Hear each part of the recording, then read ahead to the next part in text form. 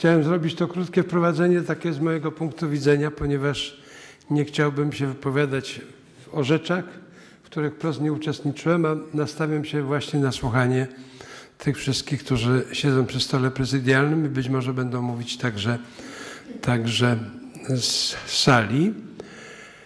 Te miejsca, które wspomniał pan Marek przed chwilą i które były pokazane na filmie i które są w książce, są mi skądinąd bliskie, ponieważ w Murzasiklu bywałem wiele razy jako biskup pomocniczy w Krakowie.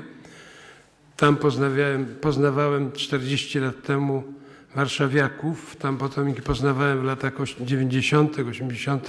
pod koniec. To było miejsce, które warszawiacy dla oaz zawłaszczyli.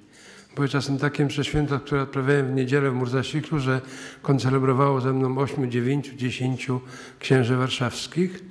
Jest mi także bliskie Lipie i siostry z Lipia, które tu są obecne, więc to jest to drugie miejsce, które wynika z tego dzisiejszego spotkania.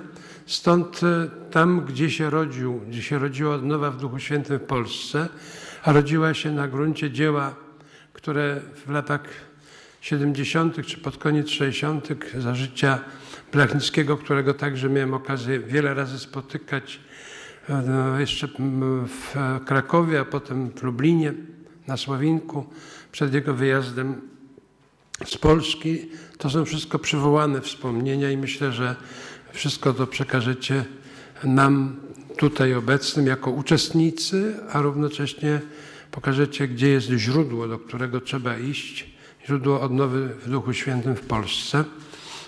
To właśnie stało się w związku z ruchem Światło Życie. Więc bardzo za to wszystko dziękuję. Powiem jeszcze na koniec takie skojarzenie nieładne, które mi się nasunęło, ale ono ma głęboki podtekst. Mianowicie, jak widziałem tego górala, który wkraczał do akcji z tą kosą, to sobie przypomniałem żart, którego, który opowiadał, który opowiadał Tischner często o, Podhalu i o góralach i kiedyś mówił żart o Łopusznej, kiedy na moście w Łopusznej, a woda wzbierała, była powódź, niewiele brakło do góry mostu. W pewnym momencie stojąc z góralami widzą, że gdzieś tam na tej wysokiej wodzie kapelusz pływa. No i wszyscy zmartwieni, chodźmy ratować, musiał gdzieś ktoś się utopić, skoro jest kapelusz. Nie, nie przejmujmy się wcale.